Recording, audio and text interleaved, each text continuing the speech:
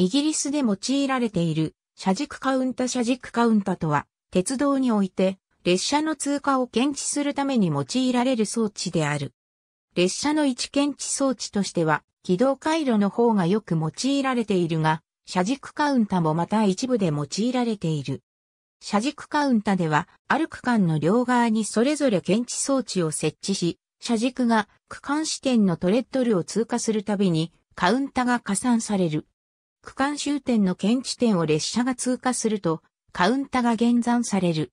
カウンタの値が差し引きで0になっていれば、その区間に列車は在線せず、次の列車の進入ができるということを意味している。この計算は、エバリュエータという特に安全性に配慮して設計された計算機によって実施される。エバリュエータは、主に車軸カウンタ付近に設置される。エバリュエータと検知器は、ケーブルか通信回線で結ばれており、これにより、エバリュエーターと検知点をかなり離して設置することも可能になる。これは特に信号装置が集中化されている時に有利であるが、線路に沿って保安装置がそれぞれ設置されている場合にはそれほどメリットではない。車軸カウンタは湿度の高いトンネルなどで用いられる。湿度が高い場所では通常の軌道回路は信頼性に欠けるためである。鉄製の枕木を使っているために両側のレール間の絶縁をすることができず、軌道回路を用いることができない場所でも用いられる。軌道回路を使った場合にはいくつもの回路が必要となるような長い区間でも有用である。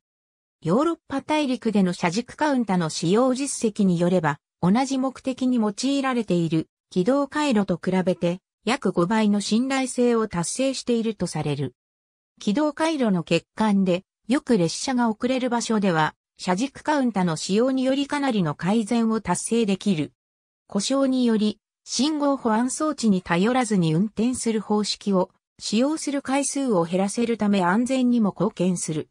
車軸カウンタは停電などが起きると累計の車軸通過数の記録が消えてしまう。そうした場合には手動でリセットする必要がある。この手動のリセットが保安装置にミスしやすい人間の要素を含んでしまうことになる。セバーントンネルでは人間が不適切なリセットの取り扱いをしたために事故が発生したことがある。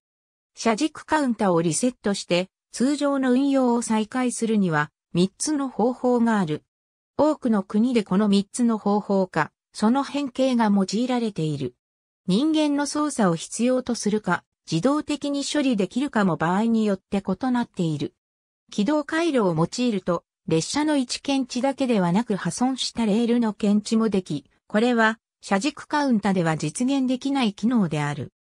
しかし、レールの破損はしばしば軌道回路を隣の区間と絶縁するために用いられる絶縁継ぎ目の付近で起きるものであり、この継ぎ目は車軸カウンタでは必要とされないものであるため、そもそもレールの破損が起きる可能性が低くなっている。ありがとうございます。